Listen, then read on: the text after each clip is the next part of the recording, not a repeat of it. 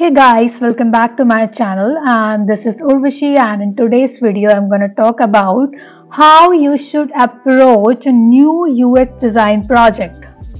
It's a commonly asked question. I have seen it on my LinkedIn DMs. So I will try to answer this question in this video. I don't know if I have uh, acknowledged this question in my previous video. I, I don't remember it. But I want to answer this question in this video. I will give you some simple steps that you can follow to approach a new client's project. It's pretty easy. I will keep it simple so that you can understand it better. So first things first, what you have to do is you have, you have had a client meeting and he or she explains you how, what they want from you what are what are they planning? So first of all what you have to do is you have to understand their business goals. Like what they want to achieve with their product. What are their goals? What problems they want to solve. So it's the first thing you have to do. You have to understand their business goals and what they want to achieve with their product. So it's the first one understanding the business goal then second one is define the problem. Define the problem statement or challenge the client wants to solve with their product. This is the second one. Define the problem statement. Define the pain points of the target users. And basically what you have to do here is you have to define the problem or challenge the clients aiming to solve. So this is the second one, define the problem. Then third one is you have to start user research. What it means is you have to start conducting user research to gain insights into the target audience through interviews, user surveys or maybe uh, talking to them in person. So basically it includes conducting user research so that you can gain insights and create user persona to represent different user groups and their needs. This is the third one. After you have understood their business goal, after you have understood the problem statement, what you have to do is you have to conduct user research through user surveys, interviews and create user personas for different users group with their needs. So this is the third one. Now what you have to do is you have to do competitor analysis. I sometimes uh, search for competitor first and research about them. So you can do it separately. It's pretty uh, simple then when you do it separately you can do competitor analysis separately. You can analyze the competitors strengths and weaknesses. You can analyze what they have and what they are doing in their product which makes them different from other people from other competitors.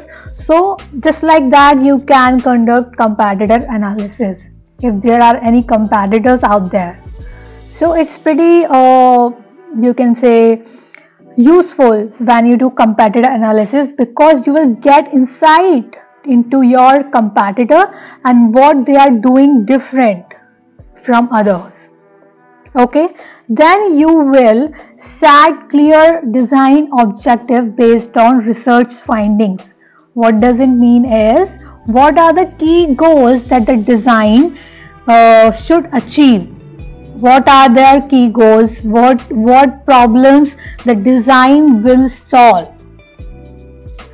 So maybe there is a problem you want to solve and you want to solve it through the design and uh, you should uh, set the goal about that uh, problem that we have to solve this problem with this particular solution or with this particular feature just like that you have to set the objectives after conducting the competitor analysis. Then what you have to do is you will create information architecture which is very important if you are creating the wireframes or UI designs because you will get an idea what will come in different pages and different sub pages so you have to create information architecture after you have set objectives, after you after you have set design objectives. so that you can create uh, information architecture and define different pages and sub pages inside of your app or a website. Okay, then what you will do is you will start sketching and wireframing. It's up to you if you want to create rough sketch of a wireframe or if you want to create digital wireframe. But you will do it after creating the information architecture because information architecture uh, uh, plays an important role when we are designing a wireframe because it's a blueprint of a wireframe and how we are going to place different pages in the app and the website. Okay, so you have to create the information architecture then you should jump onto the wireframe and sketching because information architecture make, makes it easy for you to create wireframes.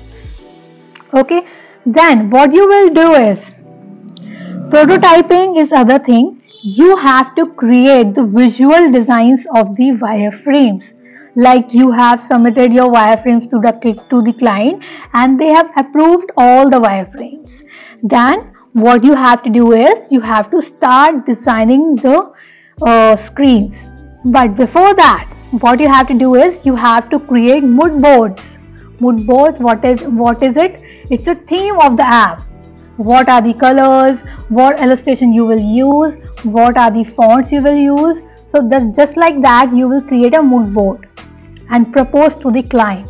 Like this is the theme. These are the illustrations these are the fonts that we are that will be we will be using in your app. Okay. After mood boarding you will create the style guide the colors the actual colors the actual colors you will be using in the app primary secondary neutral and accent colors and illustrations and photos icons. So after creating mood board, you will jump on to the style guide. You have to be uh, very, um, you have to follow these steps in a, uh, in a sequence so that you will be able to achieve a good design solution. So before designing visual design, before designing any UI, you have to create mood boards, then style guide, then you will create whole design system on the file or color style, text styles on Figma. Then after that you will start creating the designs because that will be really helpful for you to design UI with those set colors, fonts and illustrations. Okay? And then what you will do is you have created UI designs and they are all approved. So now you, what you have to do is you have to do the usability testing which is very very important if you are designing anything.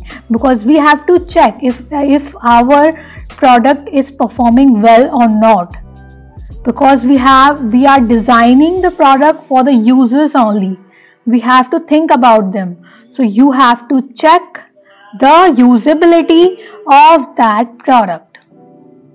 So how you can check that usability? You will conduct the usability testing by using the prototypes of that design or you can do the usability testing at the early stage by using the wireframes so, so that you will be able to save your time. Because sometimes if there are problems in your UI designs you have to create it once again. So that's a problem. So you can do it by using your wireframes as well. That will save your time ultimately so after you uh, doing the usability testing what you will do is you will gather the user feedbacks and you will iterate. You will create new wireframes. You will create new information architecture. Then you will create new uis so i will recommend you to do the usability testing with low fidelity wireframes by create by transforming them transforming them into a prototype and doing the usability testing and gathering their feedback so that you will save time and create new wireframes then you will create the UIs finally. So I will recommend you to do uh, the usability testing with low fidelity wireframes with not much colors or illustrations. that's my opinion because it will save you so much time then when you iterate you will refine the design according to the user's feedback. What feedbacks they have given in the usability testing you will apply those feedbacks to that new design so that you can refine them according to the user's needs.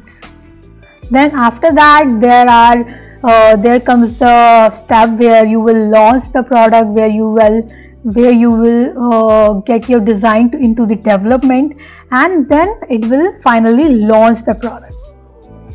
So that's how you will approach the new client project. First was understanding the business goals second was define the problem.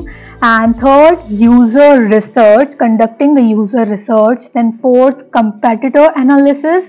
Then fifth SAT design objective. Sixth information architecture. Seventh sketching and wireframe. Then uh, creating design system style guide mood boards. Then visual design then usability testing then you will iterate and refine the design according to the user's needs. Then you will collaborate with developers for the development of that design. And finally uh, you will launch the product. So following these steps you will be able to uh, approach the new client's project easily. So i hope uh, this video might be helpful for you and if it help you in some way then do not forget to subscribe to my channel and hit that like button. And do not forget to follow me on instagram and linkedin. Link is in the description. And i will see you all in the next video. Bye bye